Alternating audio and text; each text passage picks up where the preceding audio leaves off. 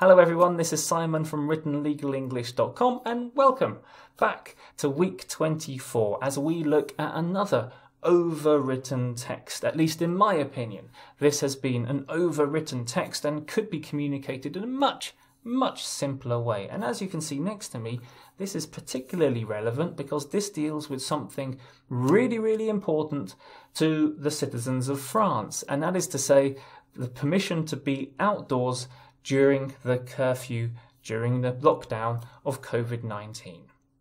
But before we start, I quickly want to remind you about the content I put out every single week. So on Tuesday, I put out a text which I think could be redrafted. On Wednesday, you get a video from my professional English course with subtitles now. And on Friday, you get the my commentary on the video that I put out on Tuesday today. So if you want to see all of my content, make sure that you subscribe on YouTube, follow me on uh, Facebook, or join me on LinkedIn, or support me on Patreon, where you where you'll also get access to my online courses, extra questions, extra videos, in-depth content, and a lot, lot more. Okay, back to the text.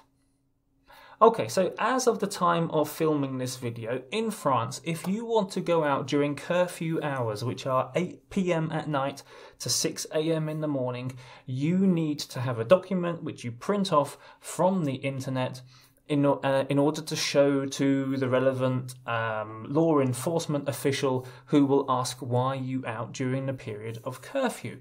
And I've taken this text from the uh, English, the official English translation of that document. You can click on the link below to see both the web page in English and this document if you want to see it for yourself.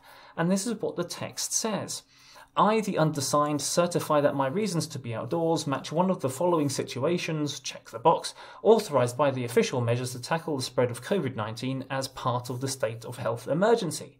Then you've got an asterisk, and I've put here just for your information that here, this is where the list of criteria is in the document.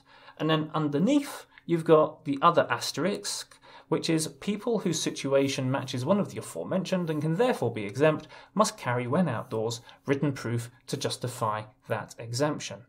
What I would like you to do is think about the main message. As, as always, a great way to start 2021. Let's go back to the basics. What is the main message or main messages in this text? It's been overwritten, in my opinion. It could be communicated, or they could be, the messages could be communicated in a much, much simpler way. We don't have to have asterisks. We maybe think about organizing the text in a slightly different way, but definitely there's a main message which is being hidden by the language. And because it's been hidden in the way that there are just so many words, the wordiness is, in my opinion, completely unnecessary. So for the task for this week is to think about that. How would you write it in a simpler way? If you would like to, leave your suggestions below this video. Otherwise, come back on Friday and see how I would deal with this text.